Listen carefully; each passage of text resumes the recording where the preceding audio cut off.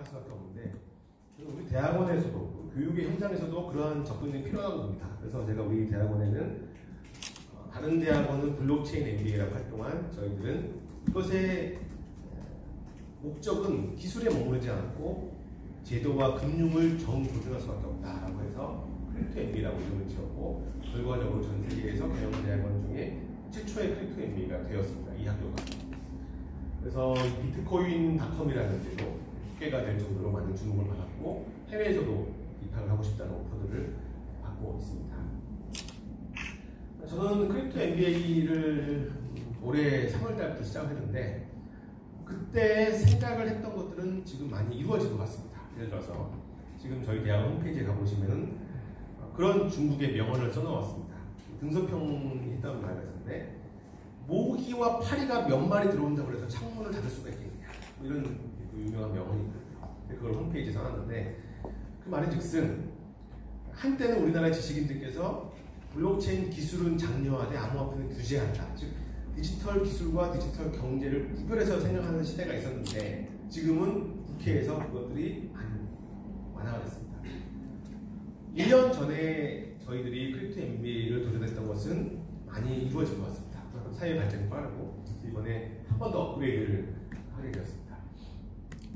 올해 내년 3월에 시작하는 Crypto MBA 2기부터는 화폐 금융론, 탈중앙 데이터의 분석과 DeFi, 다양한 최신 과목들 추가되고 Hyperledger, jamovi, 이제 SPSS보다는 오픈소스로 많이 각광받고 있는 jamovi 이런 것들의 과목이 추가되고 AI 과목이 추가가 되고 그 다음에 탈중앙 정치 시스템 요새는 decentralized voting system 이런 단어들이 막 나오고 있습니다. 그래서 암호화폐를 단순히 돈만 바꾸는 것을 바라보는 것이 아니라 사람의 의사결정 구조를 어떻게 더 전산화, 디지털화할 수 있을까 이런 고민을 하고 있고 최근에 뭐 Radical Market이라는 세계적인 경제학자 에릭 포스너가 쓴 Radical Market이라는 책에 보면은 아주 진보적인 생각들이 나오고 있는 것이죠.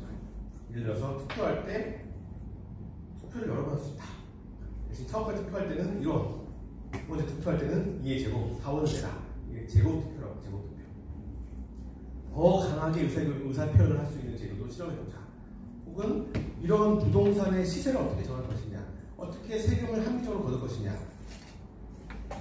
던지는 제안은 누구나 건물의 주인이 될 수 있게 하자. 내가 만약에 이 건물이 100억인데 150억이라고 생각하면 그 사람이 정리하게 해라. 대신 그 사람이 150억은 세금을 내게 해라. 이런 아주 리버럴한 생각들이 그 책에 담겨 있거든요. 이런 생각들을 구현을 하면 정치 의사결정 시스템을 디지털화해야지만이 옳고 그름의 역을 떠나서 구현해 볼 수가 있습니다.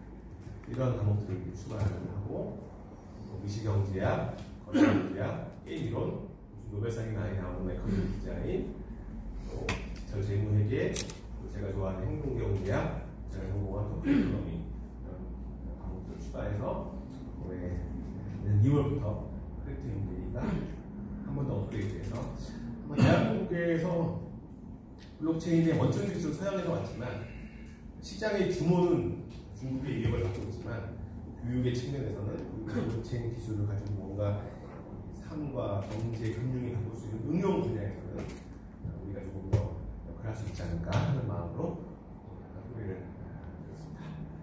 잠깐 쉬는 시간 15분 정도 휴식을 취하신 후에 2부를 시작하겠습니다. 감사합니다. 응? 저 명함들 안 좀.